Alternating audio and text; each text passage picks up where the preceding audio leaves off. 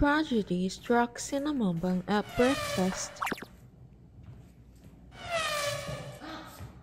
She smashed into the veggie plate.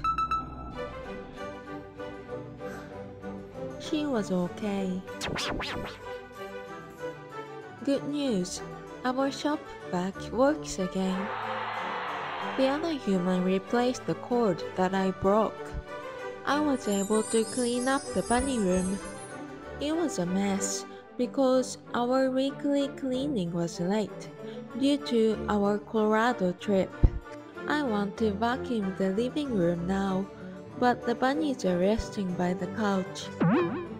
What's he gonna do now? I guess I'll wait until they wake up. I ended up taking a nap for like 3 hours. But the bunnies are still in the same spot. Cinnamon Bun looks like she's waking up. She started grooming Morty. Morty was all relaxed before, but I disturbed him because I was being too loud with my phone.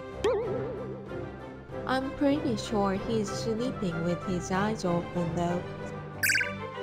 But maybe he pretended that he was sleeping because he moved and requested more grooming. Shockingly, Cinnamon complied. Then Morty almost got punched.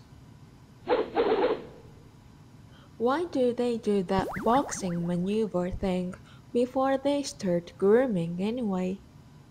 Let us know in the comments if you happen to know what's that about or have a good guess. Cinnamon Bun's elegant tail move captivated me as I really like bunny tails.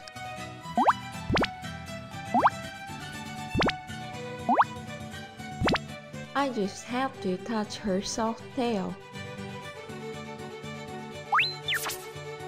I gave up on vacuuming today. I'll do it tomorrow.